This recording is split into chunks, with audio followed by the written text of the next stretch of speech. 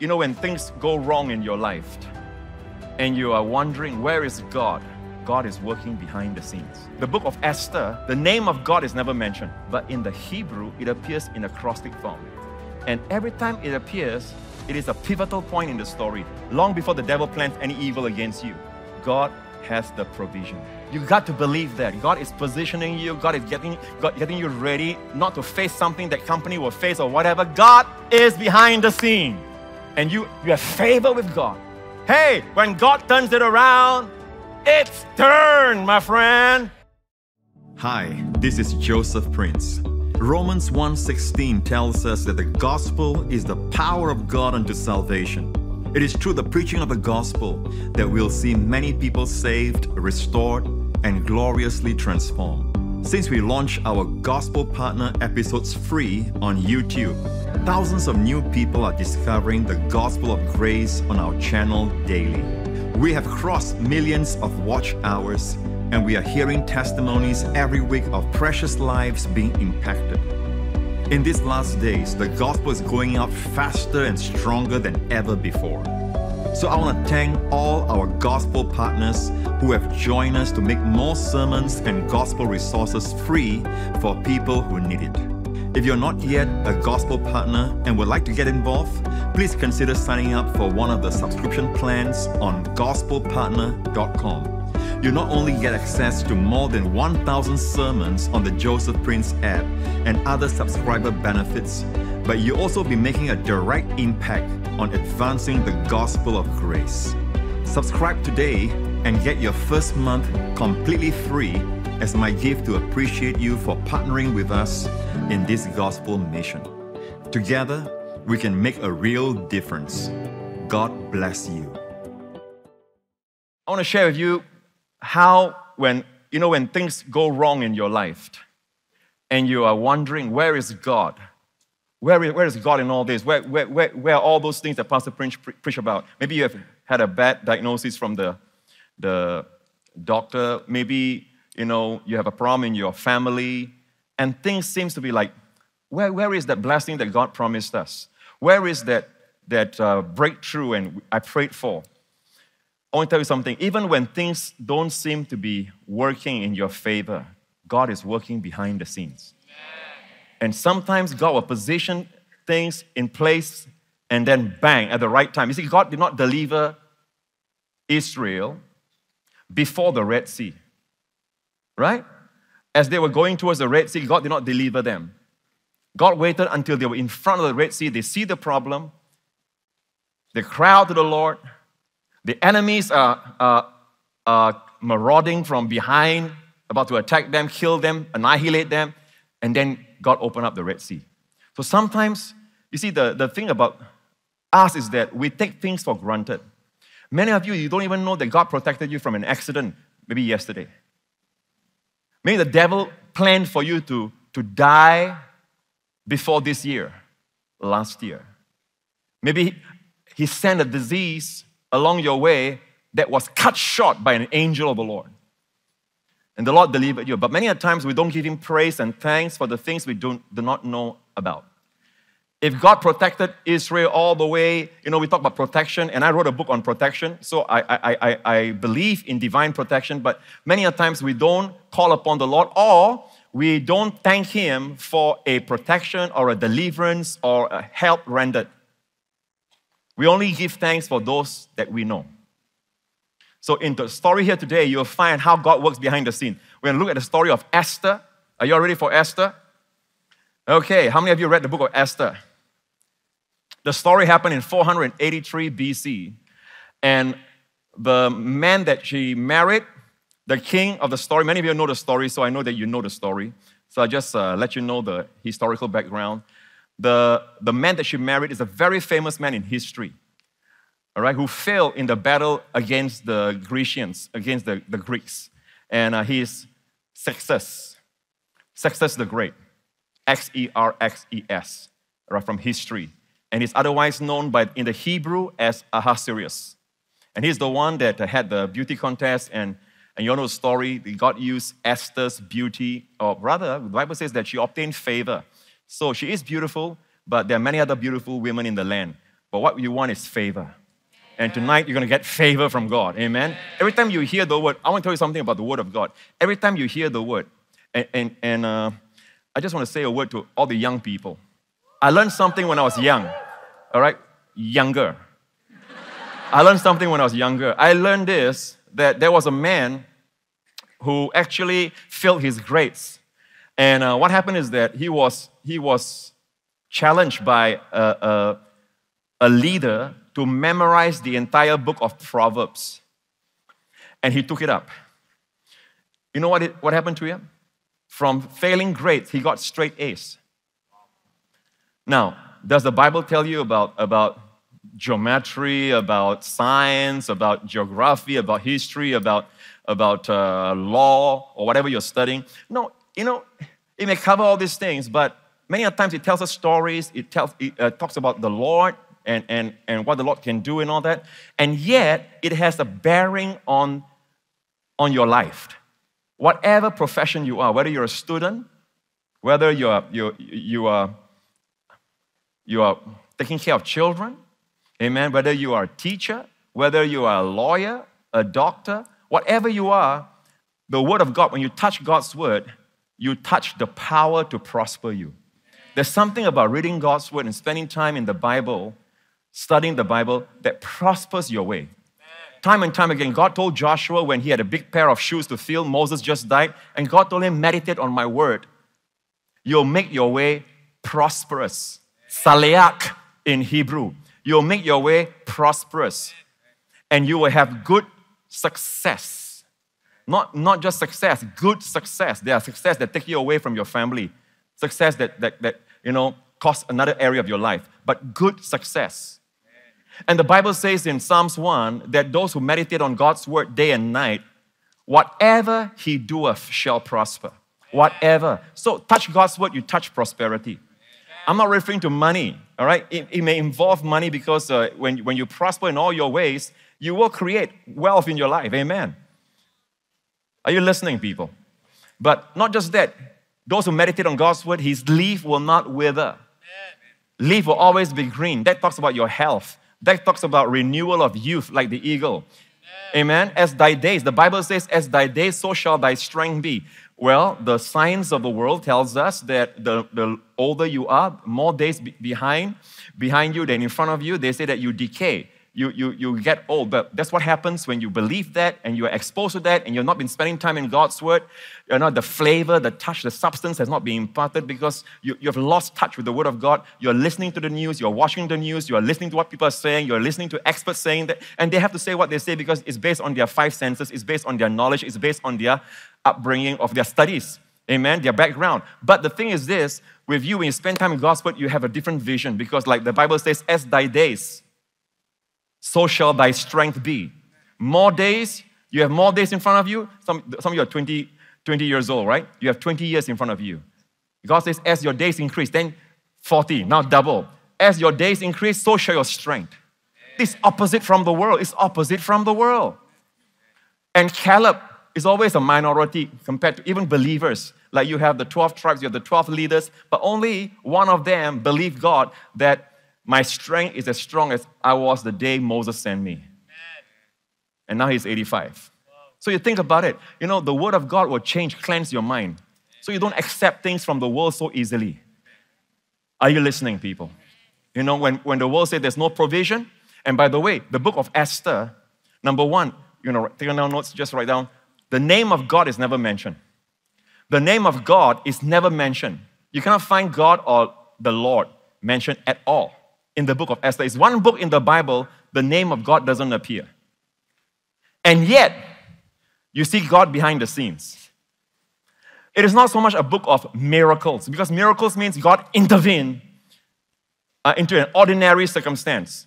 But many, uh, many of the, the turning points in the book of Esther is very supernaturally natural. So it's not so much a book of miracles as it is a book of provision. God God showing himself as the God of providence. By the way, the word providence comes from an old Latin word which is pro video. Pro, pro video. You hear video, you all know, right? And the word pro in Latin means before. Video means I see. That's where you get the video. All right? That means God sees the need beforehand and God provides. Provision, even the word provision is vision pro. Before it happens, God provides. God sees what's going to happen. You don't have to be afraid that, that life will take you by surprise. I, I must stick to the, to the lesson today, but you know, we are here to study the Bible. Another thing about the Bible is when you touch the Bible, you touch health. Proverbs 4:22 says, They, God's words, are life. Say life to those that find them. And health, say health, to all their flesh. Even when you don't understand, you open the Bible and you read a portion, it has a cleansing, it has a reviving, it has a rejuvenating, it has a supplying, it has a health giving effect. Amen. And people who study the Bible, you can see their faces, their faces shine. Their eyes sparkle. They look younger and they are stronger as a result. But the moment you don't, you don't spend time in the Word, you're not in touch with the Word, you find your life just gets mundane and you become natural. So the first thing we learn about the book of Esther is that the name of God is not mentioned. Okay? But the name of God is mentioned in the, in the acrostic. You know what's acrostic, right? Acrostic, like for example, grace. How you spell grace? G R A C E. So another way of saying acrostic is um, G, God. Gods. R, riches. A, at. C, Christ. E, expense. God's riches at Christ's expense. That's grace. So it's an acrostic. Can you see it? Amen. Do you know there are there are four acrostics of the name Yahweh in the book of Esther? It's hidden. Now, how do you spell Yahweh? Someone says Y, H. No, in Hebrew, it's going to be Yud He Vav He. But for convenience, we say Y, H, V, H. So you look up here. Now, remember, like Chinese, won't be hard for you to understand this. Hebrew reads from right to left. Okay? Right to left. By the way, did I tell you that when you touch God's word, not just God's word, life to those who find them, but health. Health to all their flesh. Proverbs 4:22. Health to all their flesh. You know, when you take medicine, right? Many times, medicine it gives you, uh, it helps resolve some pain or some condition, but then it's not health to all your flesh. In fact, it may cause a problem in another area. Right, you may go to the toilet more often or something like that. But but only God's word is medicine that is health. Proverbs 4:22. Health to all their flesh. Every time you touch God's word, it's health to all your flesh. So tonight, be expecting when you go out of this place, you're going out healthier, stronger, amen, and more prosperous in every area of your life. I don't mean money alone, I mean prosperous, amen. So that's, that's God's word. Touch God's word, you touch good success. Touch God's word, you touch. Even if you don't, you don't understand. You all heard me share the illustration of the, the farmer who told his son to, you know, the son said, I, I don't understand. I, I, why should I read the Bible? I don't, under, I don't understand the Bible. The father says, okay, you know, son, you know, I understand what you're saying, but you go get me some water from the river and uh, water the plants here. Uh, the son about to take the bucket. The, son, the father says, no, take this, this, uh, you know, rattan, like, like a rattan basket, wicked, wicked basket.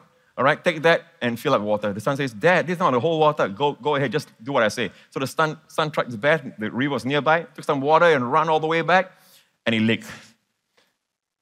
Dad, I told you. Dad said, do it again. So he did again, came back. Do it again, came back. Dad, I don't understand what you're trying to say. It cannot hold water. But the father says, look at the basket. You look at it. Look at how clean it is. So even when you don't understand God's word, it leaks. You feel it leaks. You don't understand. It's not retained. But look at how clean your mind is. Amen? Amen? Yeah. And uh, it, it will renew your youth. Amen? Okay, so say youth. Reading from right to left, I want you to memorize these letters. Very easy, okay, in Hebrew. Yud is the smallest letter in the Hebrew alphabet. Yud, reading from right to left. Yud, He, Vav, Hey. You know, I, I haven't even finished yet. This church is amazing. I love this church. Amen. And many a times you have to explain to people from the start. All right, for you, you guys help me so much, really. So this is pronounced Yahweh. We sang that song just now, right? Yud, Hey, Vav, Hey. Yahweh. And in the book of Esther, the name Yahweh is hidden in acrostic four times. All right? One time, it appears as I am. Eye. I am that I am. Now, let me explain the acrostic. In Psalms 96, verse 11, we have the English text says this Let the heavens rejoice and let the earth be glad. Let the heavens rejoice and let the earth be glad. Would you like your earth, your, your where you are at, be glad? Your family area be glad? Amen. Heaven must rejoice first. Then the earth will be glad. God, that's always God's priority. Can I have a good amen? But if you look into the Hebrew, all right, reading from right to left, the Hebrew says, all right, let rejoice, Yishmaku Hashemayim Vetagel Haaretz. Yud, first one, Hey, Vav, Hey. Without the Lord, your earth cannot be glad. Without the Lord, heaven cannot even rejoice. Amen? So it tells you straight away that this, this is an acrostic. So although the name of God is not in the book of Esther in your reading of your English or any other language, but in the Hebrew, it appears in acrostic form. And every time it appears, it is a pivotal point in the story. Every time it happens, it's really a game changer. It changes the whole, the whole scenario. Would you like to follow? Are you excited about that? Now, why are we telling you this? Because the same thing is happening in your life. God is working behind the scenes. So there was a man called Haman. He's an evil man. And you see the hero of the story here, Mordecai, a type of Christ. And of course, the heroine, is Esther. Esther, whose name is in the Hebrew Hadassah. Hadassah is myrtle tree. But they changed her name to the Persian name because they were, they were in Persia. And her name became Esther, which means star. And she's the star of this story. The real star is God, of course. So, why is it that God doesn't reveal his name? Why? In this book, why didn't God reveal his name? During this time, Israel was not in the place where God wants them to be, right? They are in captivity. Remember the story of how they, they worship other gods, then the God that brought them out of Egypt, then the God who opened up the Red Sea for them, then the God who gave them all the land flowing with milk and honey, and they started uh, uh, sinning against God, and God sent prophet after prophet. Some of them, they killed the prophet and all that. And God says, finally, God says, this is it. I'm going to send you one last call. If you repent, all right, I will restore everything. But they refused, and they went into captivity. Then the times of the Gentiles started. The head of gold, the breast of silver, all the way down to the feet.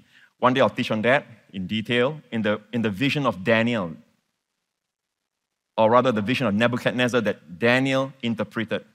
And uh, it's the times of the Gentiles. We are still in the times of the Gentiles. We are now in the feet area. So it's very interesting.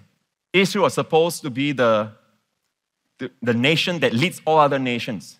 One day there will be when Jesus comes back. He will rule from Jerusalem.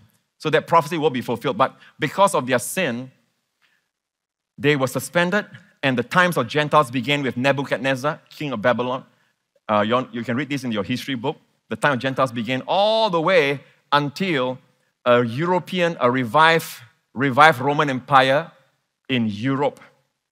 All the, uh, now, in fact, you can't say Europe because the revived Roman Empire covers the entire Middle East. Even Israel is under the revived Roman Empire. Actually, talk about that. Then Iran, Iraq, and all the rest. So from here will come the Antichrist. I, I, I can't tell you where is it, is it exactly, but it's from the previous Roman Empire. He's going to appear and he's going to bring peace, supposedly world peace to the, uh, and all the questions that the world has. He seems to be very brilliant and all that, but his, his whole purpose is to annihilate the Jews as well as Christians.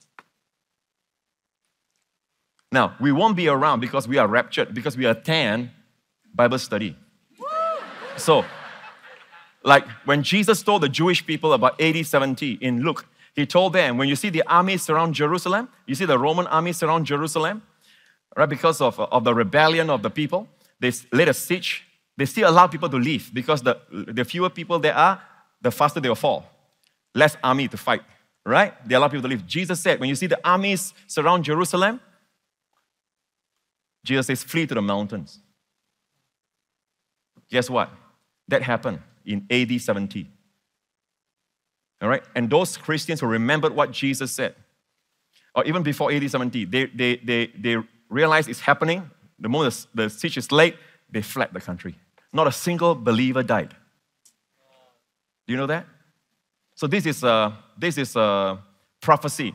To know it beforehand is to be forearmed. Okay, let's go into the word right now. Uh, the story of Esther. So Esther, she is the, her parents died and Mordecai took care of her. Mordecai obviously is a very elderly man and he took care of her. And the time came, chapter 1, um, all the Indians are going to love this. Chapter 1, verse 1.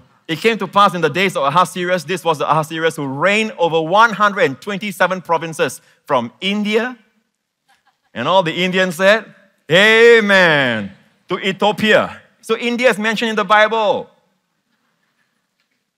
Do you know China is mentioned in the Bible also? All right, you can do a search, it's called Sinim, S I N N I M. Im is just plural. Sin, S I N, is where you get chin later on. So the Bible prophesies about his people coming back from the land of China as well. Anyway, India is here. Good. In those days, when King Ahasuerus sat on the throne of his kingdom, which was in Shushan, the citadel, in the third year of his reign, he made a feast for all his officials and servants, the powers of Persia and Media, the nobles and the princes of the, of the provinces before him. He showed the riches of his glorious kingdom, the splendor of his excellent majesty for many days, 180 days in all. And by the way, at one time, don't forget, after King Nebuchadnezzar came the Medo-Persian. The, the breast of silver of the vision of the, the, that Daniel interpreted for Nebuchadnezzar, the times of Gentiles. They reign across all the way from northern uh, uh, Africa, Ethiopia, all the way to India. There's a wide compass of land. And many other lands were, were undiscovered during that time. Okay, so they were the, they were the uh, um, ruling power of that day. So this king, he was inviting everyone to come to his uh, place in Shushan. If you, you can actually look, look up this in, uh, on, on YouTube as well as documentary channel. It, today it's called Susa. It's a story of Susa, S-U-S-A, Shushan, all right? And uh, in fact, you can see, literally you can see they, they have unearthed They've unearthed the palace. Of course, you can't see the structure anymore. You can see the ground though. And in chapter one, it talks about black and white marble. I have seen in my own eyes one of my missionary friends in the 90s. He went down there, he took a picture of him standing on the black and white marble. He showed it to me. And you see can see, and it's in chapter one, it talks about the black and white marble flooring. So uh, the, the, the palace has been uncovered. Okay, so it is still there. If you're keying in, okay, studying and all that, not now, not now of course, but it's, it's Susa, okay, which is Shushan, ancient Shushan. And the story happened there. So the Bible tells us during this time he was eating and all that, and it was 180 days of celebration. Can you imagine not? All kinds of food. And the Bible, the Bible says that they, have, he, they were drinking from, they drinking wine from goblets of gold, vessels of gold. So finally, after 180 days was over, he has a special party thrown for his special friends in his palace garden for another seven days. On the seventh day, he invited his queen. He said, Go get my queen because he was so proud of her beauty. And he says, Let her put on her, her, her crown when she comes. So they went to get her, but she said no. She said no to her husband. And this is where the story gets exciting because long before the evil happened, God was arranging circumstances. Really. So she said no, and the king says, What? And his, his wise men were around him. He says, Do you all hear that? Then the wise man says, King, if this is not handled, all the women of the entire kingdom of Persia will not respect their husbands when they hear this happen. So let's follow the story. Drop down. If it pleased the king, they said, let a royal decree go out from him, let it be recorded in the laws of the Persians and the Medes, so that it will not be altered, that Vashti shall come no more before King Ahasuerus. And let the king give her, give her royal position to another who is better than she. So you know who is that, right? Esther. So God was working behind the scenes already. And uh, drop down. When the king's decree, which he will make, is proclaimed throughout all his empire, for it is great, all wives will honor their husbands, both great and small, and the reply pleased the king. Now, this is a turning point. Okay, this is a turning point. Look at the, the phrase, all wives will honor, and look at it in the Hebrew. He vekel hanashim yet no, which is to give from Nathan. Okay, look at this. Can you see Yud He Vav He in reverse? Okay, Yud He Vav He. It's in reverse. Now, we say, no, it's English is correct. It's forward. But remember, Hebrew reads from right to left. So it's reverse. You know why is it reverse? Out of these four acrostic, listen. Two are reverse, two are forward. When it's forward, God is ruling directly. When it is reverse, He's overriding, He's overruling. And you see right now, He's overruling, deposing Queen Vashti, preparing the place for Esther, who'll be in a position to help her people. Long before you have a need, long before the devil plans any evil against you, God has the provision. God sees beforehand. Can I have a good amen? All right, so it's a turning point right down here. So now the call is, is made, the queen is deposed. I'm sure she regretted a lot, okay? And, um, and, and a call is made, the king wants to find a wife. So all the women of the province and the entire province, they, all, they were all summoned to, to come to uh, uh, uh, Shushan, the palace. And let's follow the story. Okay. Now, when the turn came for Esther, the daughter of Abihail, the uncle of Mordecai, who had taken her as his daughter, to go into the king, she requested nothing but what Hegai, the king's eunuch, the custodian of the women, advised. And Esther obtained favor in the sight of all who saw her. Now, if you read earlier, the Bible says she was, she was very beautiful. And yet, the Bible says that she obtained favor. I want to say this those of, those of uh, you, Pastor Lawrence, listen, who are good looking and all that, or you are pretty and all that, chances are sometimes you depend on that to help open doors instead of depending on favor. Even though Esther was beautiful, so were other women also. The way to stand out is always God's favor. God gives favor. Amen? Amen? You are, you are new to the business. There are many others who have, who have made their mark long before you, from their grandfather to the father to handed down to them, and you are new to the business. They, they've been there for, but you know what? Favor will make the difference. If people like you, people like you. Amen? Now, I want to tell you something else that uh, the women, if you read I, I, wish I can read the entire portion for you, but we don't have time. But if you read the entire thing, you find that uh, it talks about the women who were brought there. Before this, they, they, they, see the king, they actually uh, bathe in perfume for six months. And then another perfume for a number of period of time also. And uh, so the, the, the whole thing is uh, just amazing, very elaborate, very prosperous, very lavish. So the Bible tells us, drop down. Esther was taken to King Ahasuerus into his royal palace in the 10th month. And the king loved Esther more than all the other women. And she obtained grace and favor in his sight more than all the virgins. So he set the royal crown upon her head and made her queen instead of Vashti. So once again, you have grace and favor, which was my first seminar or conference that I did for Hillsong Church. It's called Grace and Favor. Amen? And if you put your trust in God's grace and favor, you go places. Amen. Amen. Doors will open. Don't depend on your smarts. See, the problem with, with us, Singaporeans especially, you know, you're, you're so smart. You people are so smart. And, and, and you tend to depend depend on your smartness. You depend on your, your experience.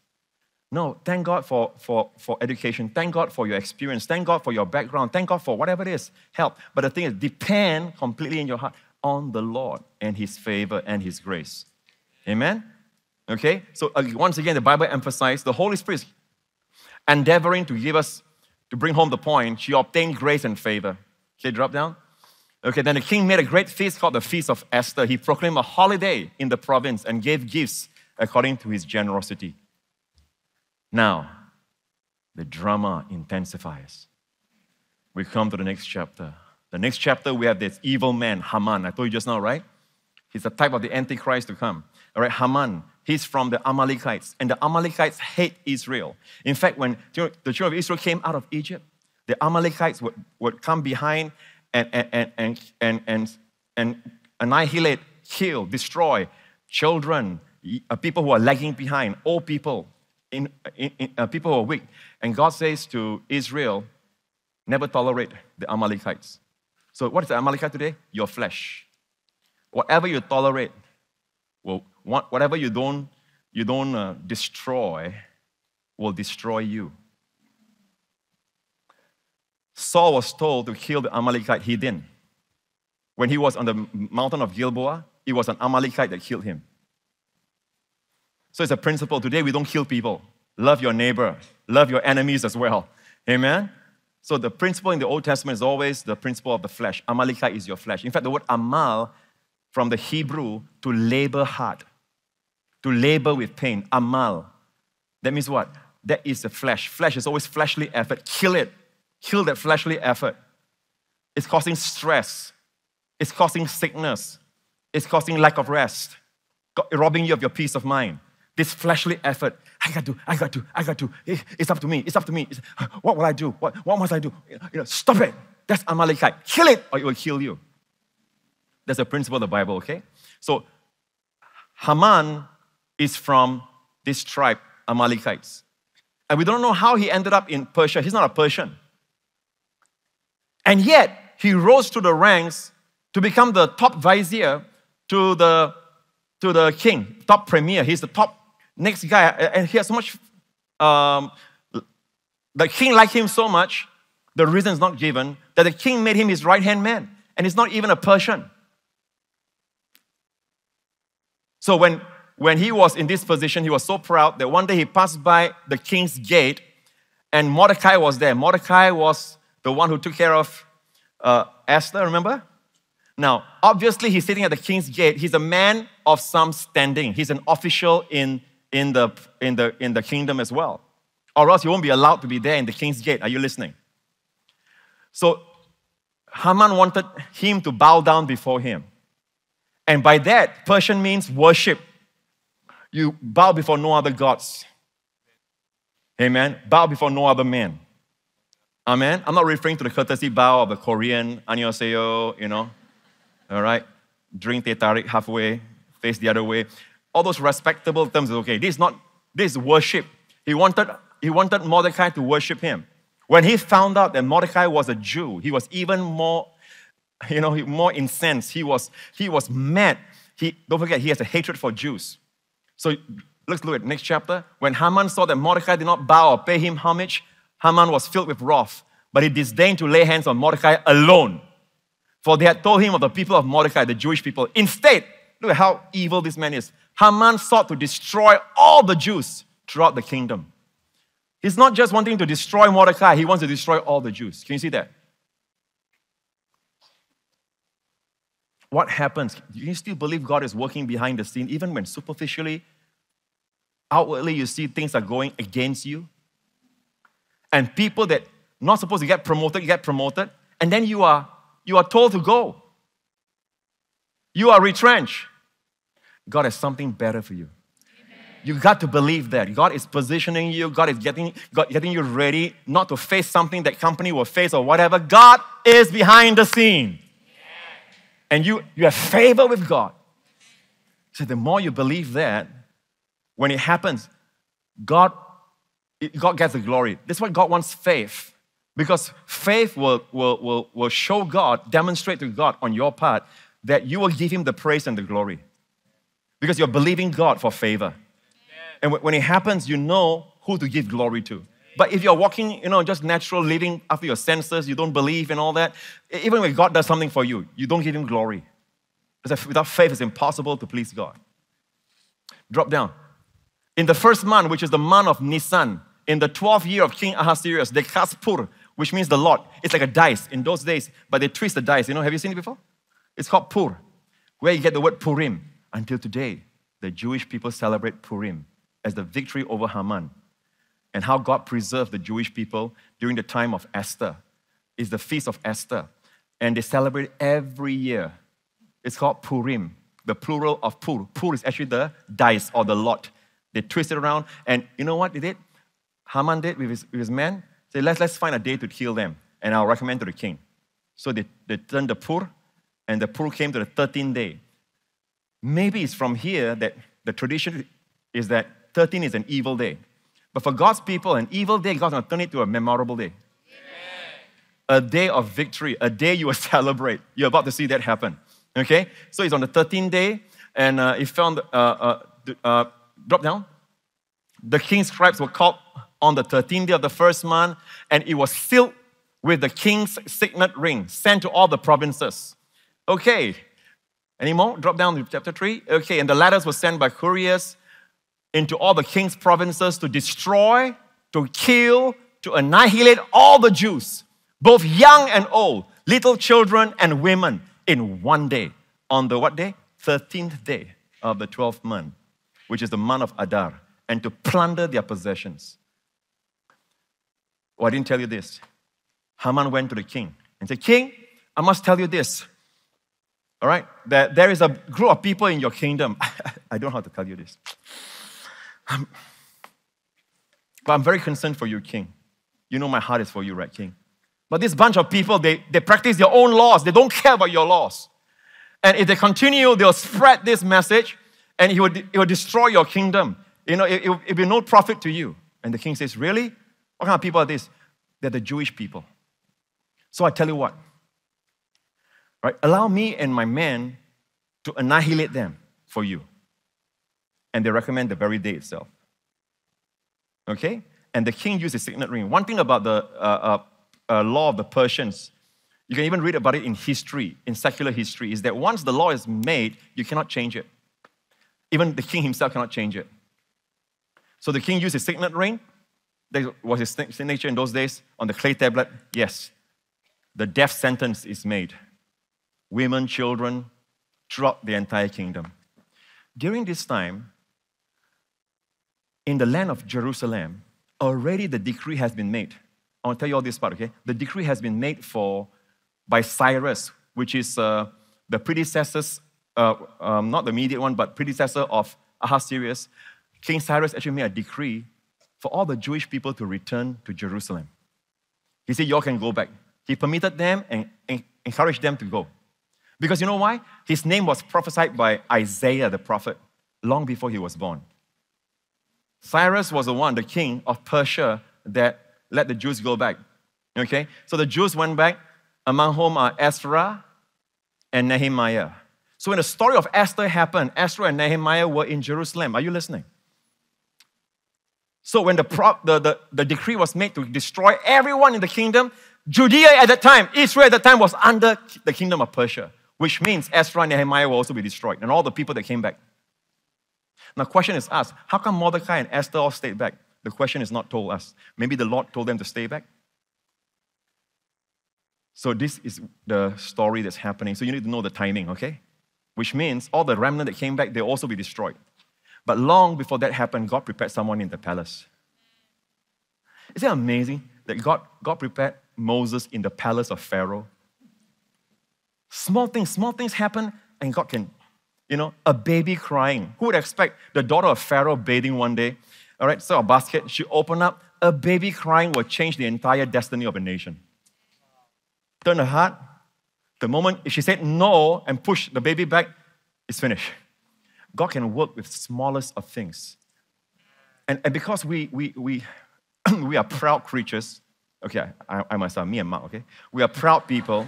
Many times we look for the big, big things. We miss out on the small, small things that God is doing in our life. But God can use the very small things to change things in your favor. A baby crying, a woman's anger, temper, Vashti, and then got deposed. God can work through all these things. God will make the wrath of men to praise Him. I think the Psalms, we have the verse up here. It says, uh, Surely the wrath of men shall praise you with the remainder of wrath you shall gird yourself. You know what it means or not? Even man is angry towards God, man is angry towards his, his children. God can use the wrath of man to praise him. You see it. And whatever wrath is remaining, God will use it to gird himself, clothe himself. Hallelujah. So, back to Esther again. So, the day has been set. Are you with me so far? What's going to happen? Then, the next chapter, chapter 4, tells us Mordecai was weeping in sackcloth and ashes, and he heard the decree, and he, he sent a message. He, he didn't have access to the palace, and Esther was in the palace. So he sent a message to through a messenger to Esther saying, let's follow what he said. If you remain completely silent at this time, relief and deliverance will arise from, for the Jews from another place, but you and your father's house will perish. Yet who knows whether you have come to the kingdom for such a time as this? Can I say this to you? If God allows us to be used in doing something, consider it a privilege. Because you know what? Help will still come from somewhere. If you don't want to do the job, all right, can I say this? God is not hard up. When God tells you to do something, He's planning for you to get blessed. He's positioning you. Of all the, the boats, I mean, I mean, Peter is not the only one of the boat on the Lake of Galilee. There are other boats as well. But when Jesus stepped into his boat and Jesus said, Can, can I borrow your boat to preach to the people? Because they are crowding on me. He preached from the waters, and, and you know, the acoustics amazing. When you preach from the waters, it just carries your voice to all the thousands of people by the Lake of Galilee. Right? Now, that is wasted time, right? In a sense, quote unquote, wasted because the, the, the fisherman could use it for fishing. Like if you think tonight is wasted time, let me tell you this waiting on the Lord is never wasted time because they that wait upon the Lord shall renew their strength. They shall mount up with wings as eagles. They shall run and not be weary. They shall walk and not faint. Even the youths shall faint, and the young men shall utterly fall. But they that wait upon the Lord will mount up with wings as eagles. Run and not be weary. Wow, what is that? Walk and not faint. The secret is waiting upon the Lord. So let the Lord have it. Amen. After the Lord finished preaching, the Lord says, Peter, let's go fishing. Peter said, No, no, no. Uh, uh, let's go fishing. And he gave him what? Net breaking, boat sinking, load of fishes. He's a good paymaster. Now, imagine if he went to someone, someone else's boat. The person with the recipient of all the blessings. When the Lord tells you to do something, He's positioning you. It's a privilege. Because if you don't, relief and enlargement will come from another place. And who is to say whether you came to the kingdom for such a time as this? Amen? Then Esther told them to reply to Mordecai. I always believe there are leaders there, sitting down there, because they don't want to give up something or whatever it is when you know they sit down there and they are seeing other people with the kind of blessing that they could have had with the kind of anointing and calling that they could have had, but they said no to God, and that person said yes. And the person got what you are supposed to get. There are some things that God rewards, something all of us can have by grace through faith. But there are some things He gives you the grace, it can be in vain if you don't use it. But if you use it, He reward you for using the grace He first gave you. That's called reward. All right, drop down. No more dropping. Okay. Now we come to the we got only one acrostic so far, right? Now we come to the chapter where we have two acrostics. Turning point. So now it's desperate situation, amen. So Esther is about to go and see the king. Esther is about to meet up with the king. And she knew one of the, another law of the Persian is that if you come to the king's presence uninvited, you die. The king must invite you, or if you come in, the king must extend his scepter to show that he has pleasure with you. So Esther says, Hey, you guys, all right, pray for me. If I perish, I perish. So the time came for Esther. Next chapter.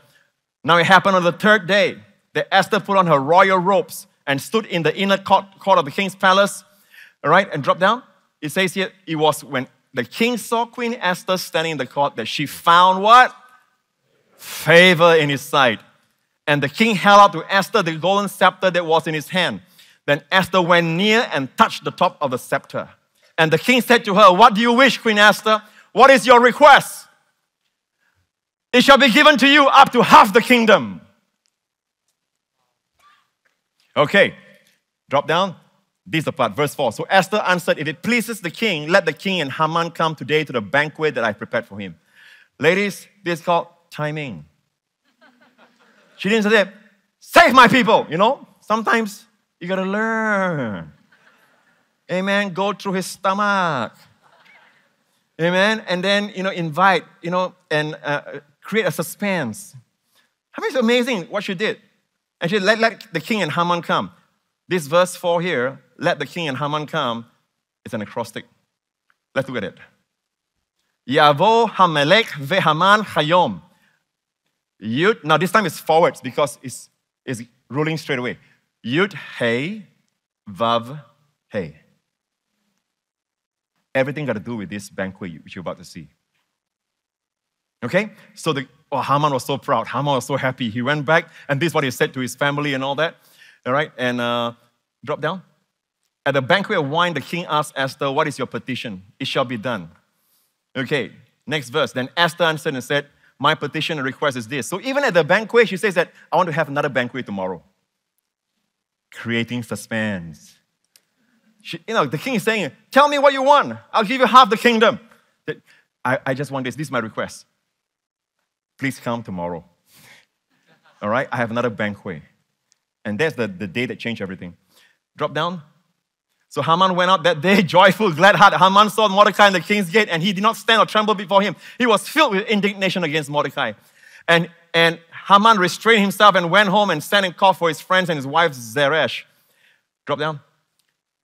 Where are we now? Haman told them of his great riches, the multitude of his children, everything in which he told us, he boasted to all his friends. This guy got a problem with pride, isn't it? Amen? So pride is um, pride goes before a fall, it's true everything which the king had promoted him and how he had advanced him above the officials and servants of the king. And he says, besides Queen Esther invited no one but me to come with the king to the banquet. Tomorrow I'm again invited by her along with the king. All right, drop down. Yet all this avails me nothing so long as I see Mordecai the Jew sitting at the king's gate. So the wife said, I recommend uh, build a gallows really, really high, 50 cubits high, 75 feet. You know how, many, how crazy is it? And it was built behind his house, you know. You see later on, it's built behind his house because you want to see him hanging. Hang, hang him high. And the thing pleased Haman. Now, verse 13, yet all this avails me nothing is another acrostic. And this time, reverse. Look at this. This avails me nothing from, from reverse. Yud, Hey, Vav, Hey. He's angry at Mordecai, and God is causing the wrath of men to praise him. Because had he forgiven and he know, like, you know, change whatever, I mean, but because of this, God will cause the wrath of men to praise him.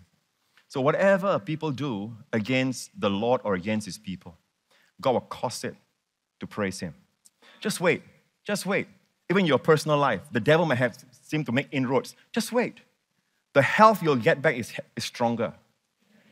Amen. The provision will be larger. The place is a wealthier place. David says, It was good for me to be afflicted. You have brought me to a large place. We're not camping in the valley. The Lord, He leads me through the valley. He not lead me to to stay there, but through. Amen? It doesn't say bypass. Collect 200. No through the valley. Go back to Esther 5 again. All right. So next chapter I must read to you. Okay, this, this is my, my favorite chapter of all. Coming to a close. Is my favorite chapter, so I must read to you. Again, I told you just now, right? God uses what? Simplest things. Like, for example, it is God who gives the beggar or the king sleep. We take sleep for granted, but God gives sleep. And God can remove sleep. And sometimes you spend a sleepless night, ask the Lord, what do you want to say? take your Bible, if the, you know, even if it's in check or whatever, take your Bible, use that time with the Lord. When you touch the Bible, you touch provision. You touch the Bible, you touch health. You touch the Bible, you, you touch youth renewing qualities. Amen. You touch the Bible, you touch wisdom. So that night, that night, say that night. That night when the family of Haman is talking about building a 75 feet high gallows to hang Mordecai there. When all this evil scheme was happening in this house, the same night, that night, the king cannot sleep.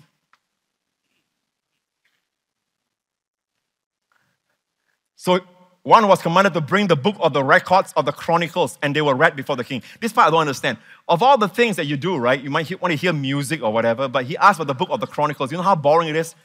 The book of, can, uh, go to the data side of things and read to me all the data.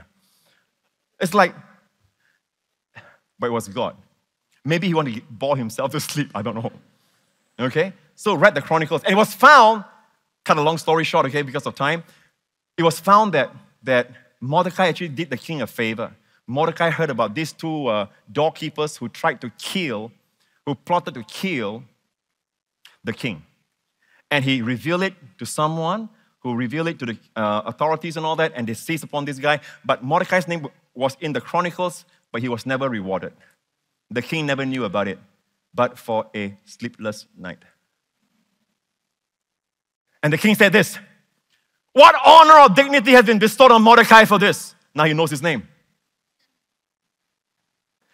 Actually, your wife is related to him. So he didn't know Mordecai. He says, What honor or dignity has been bestowed on Mordecai for this? And the king's servants who attended him said, Nothing has been done for him. At the same time, guess who came that morning, very early in the morning, to recommend the gallows? Haman. He came in. Haman just entered. The king said, Who's in the court? All right? To suggest that the king hang Mordecai on the gallows prepared for him.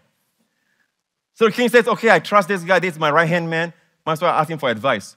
Drop down. The king's servant said to him, Haman is there, standing in the court. Let him come in. So Haman came in. The king asked him, uh, Haman, what shall be done for the man whom the king delights to honor? Now Haman thought in his heart, Whom would the king delight to honor more than moi? More than me. I'm sure that when he came in, when he said that, he said, All right, what, what, what, what shall I do for the, for the man that I delight to honor? Which when you're proud, you think everything is about you. You're so vain, you think everything is about you. Right? Next verse. And Haman answered the king, For the man whom the king delights to honor, let a royal robe be brought which the king has worn, and a horse on which the king has ridden.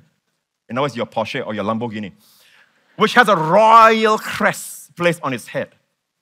Let this robe and horse be delivered to the hand of one of the king's most noble princes, that he may array the man whom the king delights to honor. Then parade him on horseback to the city square and proclaim before him, Thus shall it be done to the man whom the king delights to honor.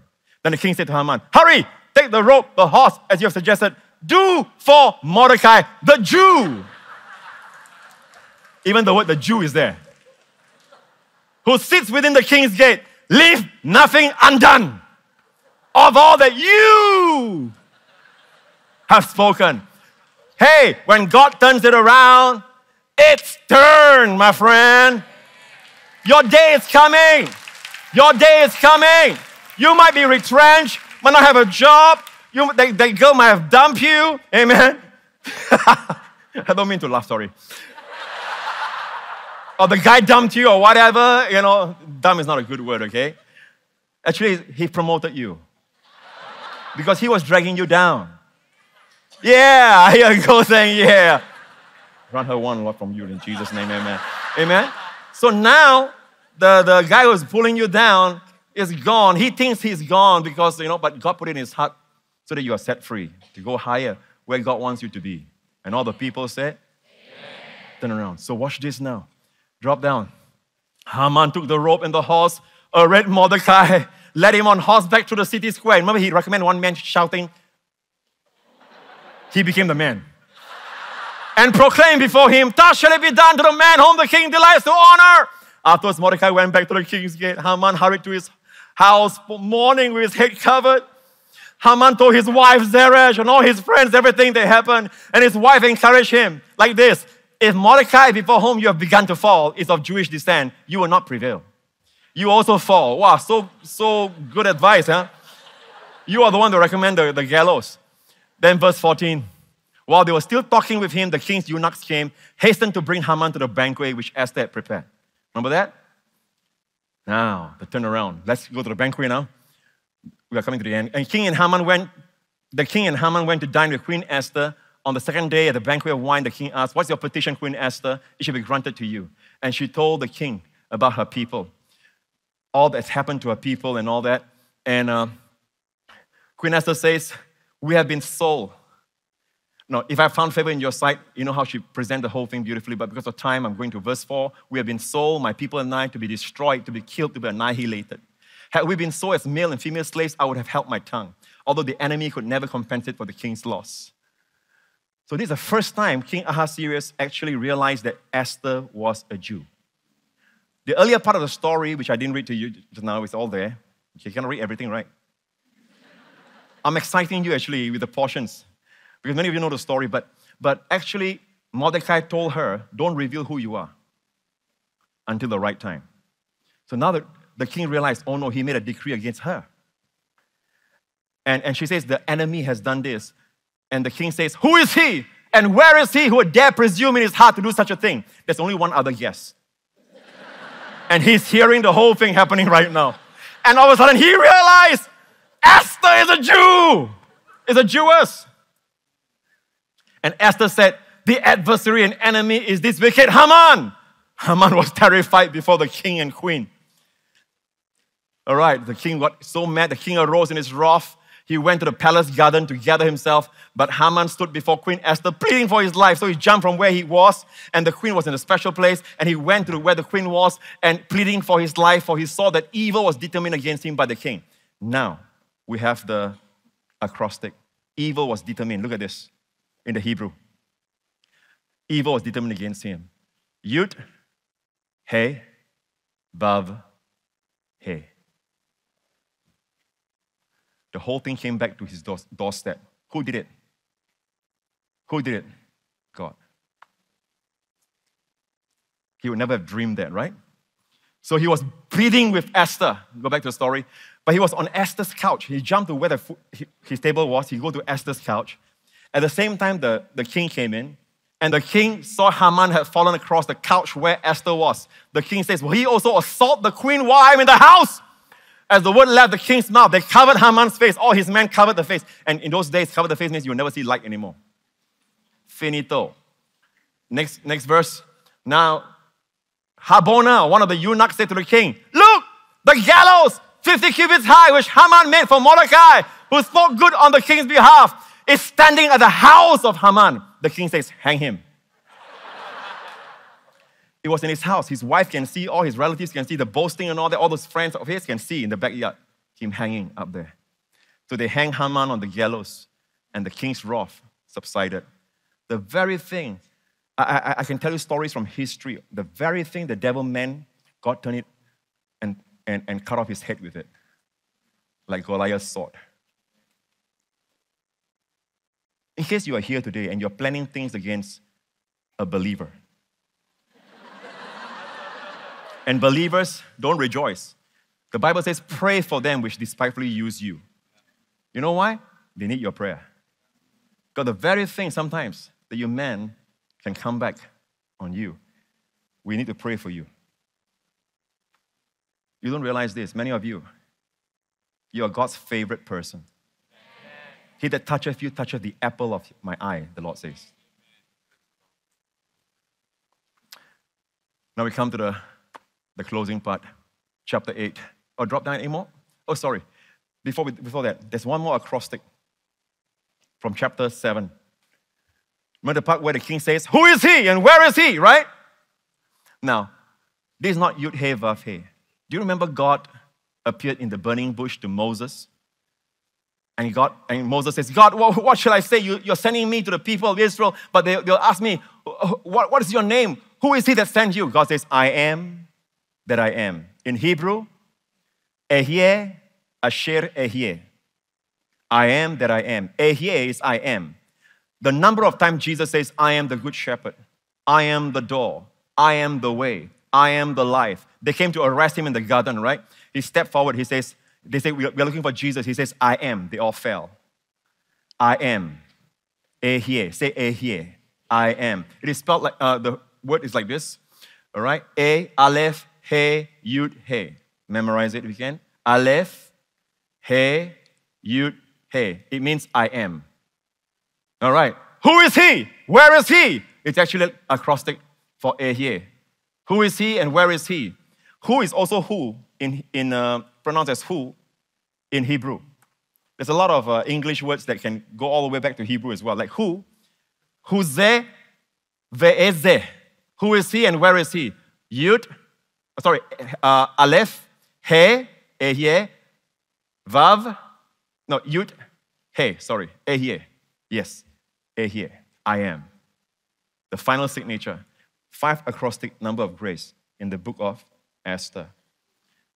And chapter 8 tells us there was such a celebration, and the king, all right, told Esther, took out the signet ring, which he had taken from Haman, and gave it to Mordecai. Esther appointed Mordecai over the house of Haman. Verse 3. Esther spoke again to the king, fell on his feet, and she implored him with tears to counteract the evil of Haman the Agagite and the scheme which he had devised against the Jews. We still have a problem, right? Once the king had, has signed something, right, on the clay tablet, he has punched it. That it cannot be reversed. So the day is coming, right? 13th. Then the king said to Mordecai, Mordecai, here's a, in essence, empty clay tablet. Whatever you write, I'll put my seal. And Mordecai says, Every Jew in the land, okay, you have a right to defend yourself. And everyone has a right to kill those who try to kill you. And the Bible tells us, chapter 8, you yourself write a decree concerning the Jews as you please, in the king's name, and seal it with the king's signet. The king is talking to him. For whatever is written, the king's name and sealed with the king's signet ring, no one can revoke. Any more? Drop down. Yes. So Mordecai went out from the presence of the king in royal apparel of blue and white, which is the flag of Israel yeah, today. Blue and white. With a great crown of gold and a garment of fine linen and purple, and the city of Shushan rejoiced and was glad. The Jews had light and gladness, joy and honor and in every province and city, wherever the king's command and decree came, the Jews had joy and gladness, a feast and a holiday. Then many of the people of the land became Jews because fear of the Jews fell upon them. Those not Jews also became Jews. What's your name? Abraham. What's your name? Zuckerberg. What's your name? Mark Mayer. What's your name? Lawrence Lubrinsky. What's your name? Chiram Goldberg. And you? Gabriel Iceberg. So the Jews, they had so much favor, people were so scared, and Mordecai became the right hand man. Who dares to kill you, right? You know, and, and, and there were some uh, enemies that were killed during that time. And the feast, the 13th, became the feast of Purim all right, the, the, the, the, and the 14 as well, two days of celebration for the Jewish people, and it's called Purim because of the Lot. And God turned the whole thing around. In a book that the name of God is not mentioned, we have God overriding the situation. Now, the question I, I was asking you all just now is why didn't God put his name openly, right? It was a period of Lo Ami. Long before they went into captivity, God, God already said that during that time, if you are in the land of the Gentiles, I will hide my face. Deuteronomy 31, all right, I'll, I'll, because of time, drop down to hide my face. God says, In that day, I'll hide my face from them. Why? Because they have rejected the Lord. Now, look at me. One of Hosea, Prophet Hosea's son, God told him, Name your son Lo Ami, not my people. You're not my people. Okay? So that period of time when Israel is in captivity, it's called Lo Ami period, not my people period. Yet, even then, God's heart is compassionate. He cannot acknowledge them openly in their rebellion, right? But He can actually work behind the scenes in their favor to protect them, to preserve them, to bless them. Amen. Now, we are no more Lo Ami. In fact, in Lo Ami, there's a prophecy there even when God says, no, no, no longer my people, show them Hosea 1 8 and 9. 1 8 says, God says, Call his name Lo Ami, for you're not my people, and I'll not be your God. Do we have verse 10? No, we don't. So I have to read verse 10 from the Bible. Right? Now I'm going to read from Romans 9. Believe it or not, verse, verse 10 is quoted by Paul in Romans chapter 9. What a good way to end our service tonight. Amen? Are you all ready to listen? Okay. This is what God says in Romans 9. Verse 25. As God, no, before that, verse 24, even us whom God called, not of the Jews only, but also the Gentiles, Chinese, Indian, all Gentiles. Amen. Chindian also Gentile. As God says also in Hosea, I will call them my people who were not my people, and her beloved who was not beloved. It shall come to pass in the place where it was said to them, You are not my people. There they shall be called sons of the living God. Jesus came and fulfilled. We no longer live in a day, even when we fail and, and, and, and blow it, God does not leave us. He does not hide his face. They were under the law in the Old Testament. We have Jesus as our high priest. And God says, Where I used to say, Not my people, you are now sons of the living God. Amen. And uh, many, many years after that, story of Esther, Jesus will come back to the restored remnant, Ezra, Nehemiah. God allowed them to go back to see what they'll do with the Messiah when he comes. And unfortunately, they put the Messiah on the cross. So there was another scattering of the 80, 70 until now. It still lasts until Jesus returns and love Israel again. And Israel will cry and Israel will say, Baruch haba Hashem Adonai. Blessed is he who comes in the name of the Lord. And, and when Jesus hung on the cross, the Pharisees said to Pontius Pilate, who put Jesus' title above his head, Change the title! Change the title! Why were they so adamant about changing the title? What they put on on top of Jesus was in Latin, in, in Greek, in Hebrew. And it says this Jesus of Nazareth, King of the Jews. And look at this here, this picture. This is what, in three languages Latin, Greek, and Hebrew. In, in look at the, do you see the acrostic there? Yeshua is spelled Yud. The next word is Ha Yahudim. Ha Melech, Ha Yahudim. Okay? Yeshua Ha Nazari Ve Melech Ha Yahudim. Okay, next letter is Vav, and the final word Ha Yahudim is Hey. Yeshua starts with Yud, Ha Nazari of Nazareth, Ve Melech starts with Vav, Ha Yahudim of the Jews. Hey. So, what the Pharisees and the people of Israel saw when he hung there on the cross was Yahweh.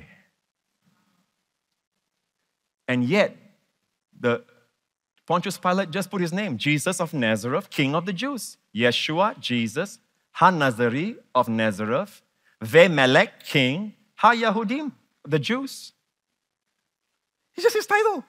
And yet, the Pharisees saw it, the people of Israel saw it, Yud-He, Vav-He, being crucified on that cross. And that's why the Pharisees says, change it, change it. And Pontius Pilate said, what I have written, I have written. God will not allow anyone to change it. Yahweh, Yahweh came and lived among us and died as our Savior and rose from the dead to be our high priest and the shepherd.